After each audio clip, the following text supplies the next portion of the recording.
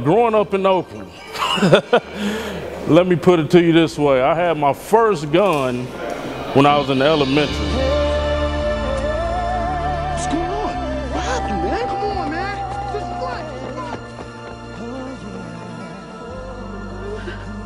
what? Well, my first experience in solitary confinement was in San Quentin.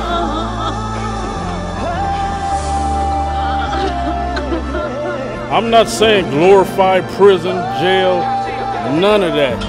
Because for me, truthfully, it was a waste of 11 years. But I'm here to say you better find another way, and I did it. So you don't have to do it no more.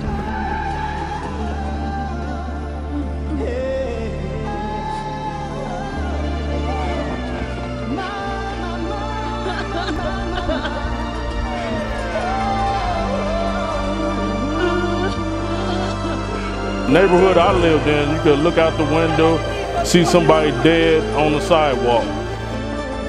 Kalifi means sharp, intelligent, fierce in Swahili, because I read and write Swahili, speak it fluently. I had my mother and I had a stepfather, and I was the middle child of two other children, and I was the black sheep. I was the one that got beatings and just got did bad.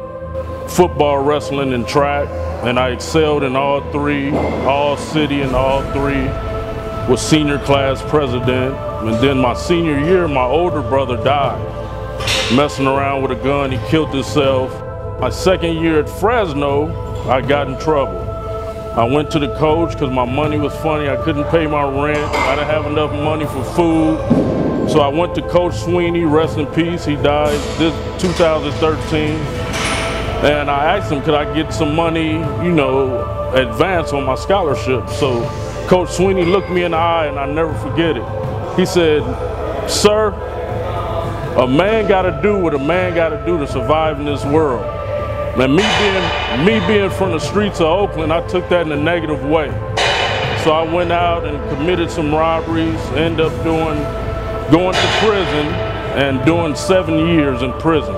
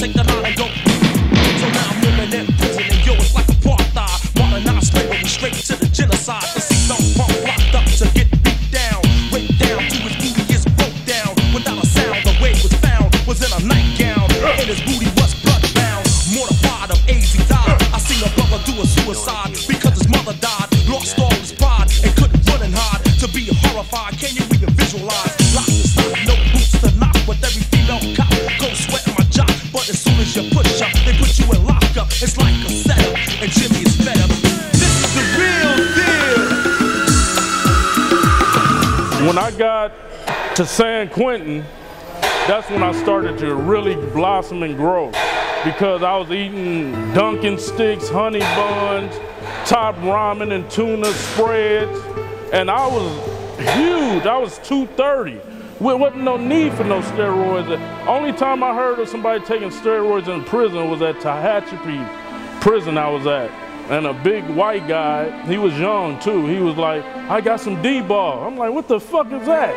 He like, oh, it make you big. I'm like, motherfucker, I'm the biggest on the yard. What I need some fucking, and it's $20 a pill? You, man, I go get four cases of top ramen for that. And so it wasn't no need for me to do all that because I was already swole as a motherfucker. So 1997, the word got out that the weights were getting took. I was in San Quentin. It was unbelievable.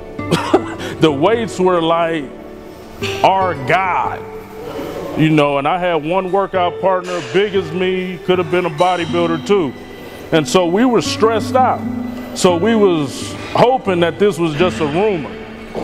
So one day, on the yard, everybody's screaming like, hey, they, they, they coming to take the weights. And so they had inmates that were low level to help them put, help the correctional officers put the weights on trucks. So we started throwing rocks at them and socks and all um, oranges, milks, everything. We were stressed out. So at that time, when the rumor had hit, I had devised a way in case they did take the weights, how to improvise. Life ain't fair. Life ain't fair. You can lock my body, but my mind is free. You can lock my body, but my mind is free. You can lock my body, but my mind is free. You can lock my body, but my mind is free. You can lock my body, but my mind is free. You can lock my body, but my mind is free. You can lock my body, but my mind is free. You can lock my body, but my mind is free. So let's get it on. Same song we sing, confined in the bing. Little brother doing the same thing. Trying to make a change, devil seem to cling. Trying to shake it, trying to make it. Sometimes I can't take it. The snakes get. How you feel? Good. How you feel? Good. mischievous. In man we trust, or in God we trust. In man we trust, or in God we trust. You can lock my body, but my mind is free. You can lock my body, but my mind is free. I had one of my workout partners on my shoulders doing squats, and the correctional officers didn't want that. They didn't want us to do anything like weights, no more. And so I told them, hey, send me to the hole. If I can't lift weights, if I can't work out, send me to the hole where I could do what I want to in my cell. And so that's what happened. I lost 90 days for working out. And, you know, when I tell people that story, they're like, you lost time for working out?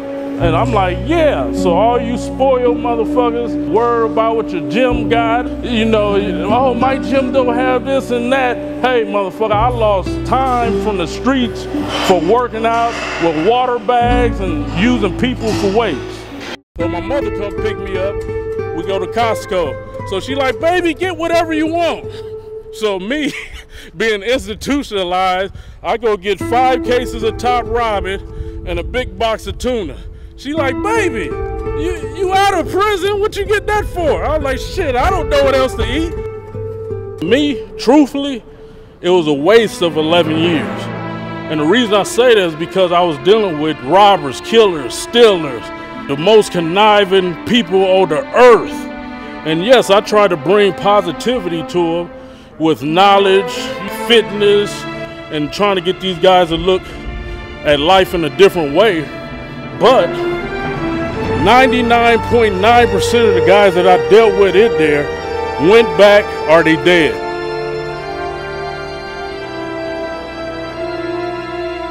My sole purpose on this earth is to help the kids.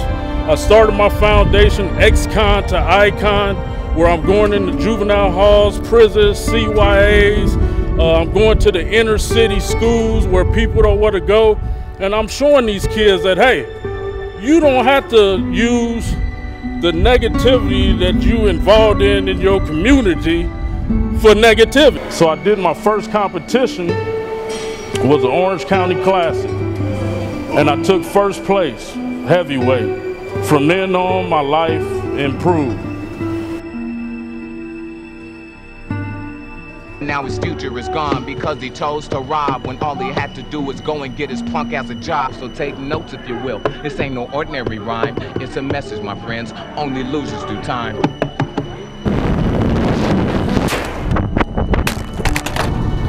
We're making history right now. Hey, we found you, baby, the copter.